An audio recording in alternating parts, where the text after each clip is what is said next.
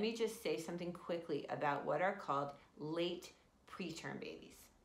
Late preterm babies are babies born between 34 and 36 weeks of gestation, and these babies account for 75% of all premature babies in the US and 8% of all births. Many babies born at this stage can go skin to skin with their mothers from the get go, but others will need help with their breathing.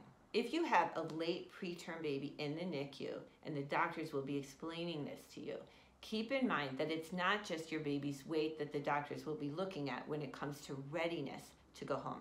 Rather, your baby's ability to eat well, not having jaundice, and their ability to regulate their body temperature are all going to be factors that the doctors will be looking at in addition to their weight.